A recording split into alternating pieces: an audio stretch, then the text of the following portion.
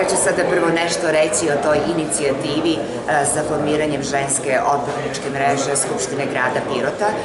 Komisija za rodnu ravnopravnost i jednake mogućnosti je pokrenula ovu inicijativu i naravno da su sve odbornice, nas je 23, sve smo potpisale izjave o pristupanju ženskoj odborničkoj mreži. Naravno da je to prvi neki korak da se okupimo oko jedne zajedničke ideje, a to je jačanje uloga žena u našoj lokalnoj samoupravi. I ubrzo ćemo imati konstitutivnu sedmicu na kojoj ćemo doneti svoj pravilnik u radu i plan za 2021. godinu.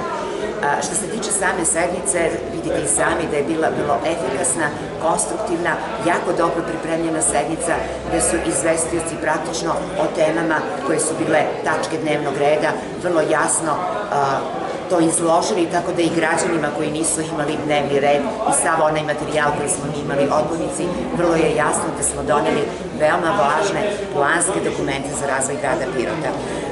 I ja sam negde očekivala da ćemo povodom donošenja prostornog plana grada Pirota da svi jednoglasno svojim odluku, ali to se i ovog puta nije desilo, petoro njih iz najbolje sa je bilo protiv i verujte, to meni liči na onu priču šta bi bilo kad bi bilo.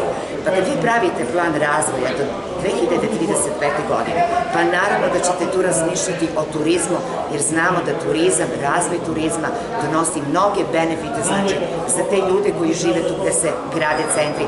Ovo ispade sada kao da investitori planiraju da grade pa čekaju u redu za ogromne turističke komplekse koji će nam zagaditi životnu sredinu. Mislim, meni je to totalno nespojivo, tako da naravno da će pre svega da se vodi računa o zaštiti i o kvalitetu naše životne sredine.